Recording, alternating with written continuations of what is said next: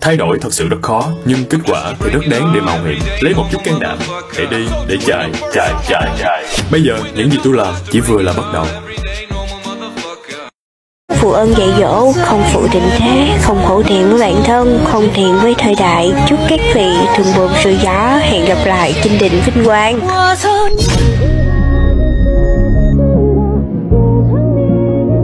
如果你已经不能控制，每天想我一次。 如果你为我而诚实，如果你看我的电影，听我爱的 CD，如果你能带我一起旅行。Nếu như mà chúng ta không lớn lên trong một gia đình giàu có và có một vẻ ngoài xuất sắc Vậy thì chúng ta cần sự kiên trì và sự nỗ lực các bạn ạ Chúng ta cần phải cố gắng Kể cả khi hoàn cảnh nó không cho phép chúng ta Nhưng mà phải vượt qua cái điều đấy Thì chúng ta mới cảm nhận được một điều rằng Tất cả mọi thứ nó đều có cái giá của nó hết Đôi khi sinh ra thiệt thòi một chút Nó lại là một cái bàn đạp rất là lớn để chúng ta nỗ lực nhiều hơn.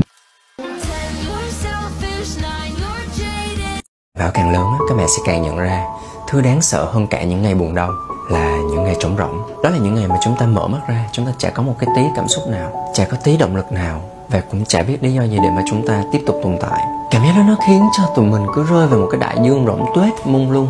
Chỉ trôi nổi theo dòng nước mà chả biết là mình sẽ đi đâu về đâu Nếu mà bạn cũng có những ngày này thì đừng lo nhé Nó chỉ là một cái cảnh báo của tâm hồn bạn Bảo rằng bạn đã quá vội vã quay cuồng rồi Hãy để cho lòng mình yên tĩnh một chút Và bắt đầu yêu thương những thứ nhỏ nhặt xung quanh mình đi Lau khô nước mắt, quên hết mọi chuyện, bắt đầu lại từ đầu đi.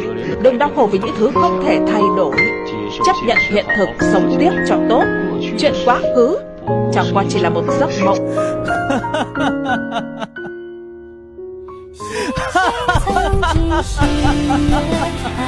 I'm not gonna fight back what I've become. Yeah, I've got bruises where I came from. But I wouldn't change if I could restart.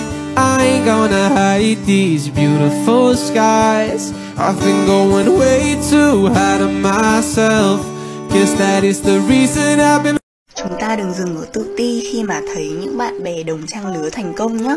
Hãy đối diện và vượt qua nó bằng cách lắng nghe trái tim rằng là mình thích gì này, mình làm gì thì mình hạnh phúc nhất và mình muốn trở thành người như thế nào.